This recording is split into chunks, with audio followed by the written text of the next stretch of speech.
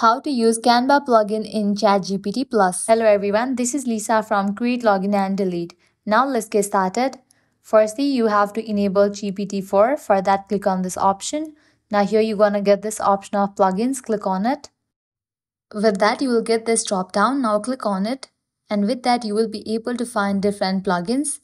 If you cannot find the plugin Canva, you can just scroll down. At the very end, you will find the option of plugin store. Click on it. Click on OK.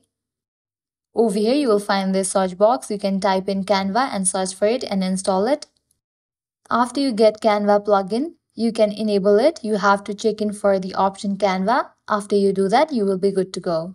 Now in this chat box, you can provide a prompt. Canva plugin in ChatGPT Plus offers a range of functionalities to assist users in creating various designs. Canva can be used for template search, design visualization, and versatility in design types. Right now here you can see that I have given prompt to the ChatGPT Plus. As I have traveling agency, I have asked ChatGPT Plus to create template for the advertisement purpose. For now, I have just written in the short form, but you can provide the detailed version and ask ChatGPT Plus to include that in the template. After you give prompt, you can just click on this icon and with that you're gonna get different templates options. You can see that.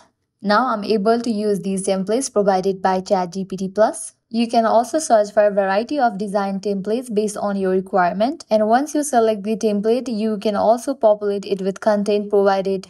You can get templates for a wide range of designs including presentations social media posts posters videos logos websites documents and more I hope now you guys are clear how to enable and use Canva plugin in ChatGPT Plus. At the end, if you guys find this video helpful, don't forget to like, share and subscribe. Thank you.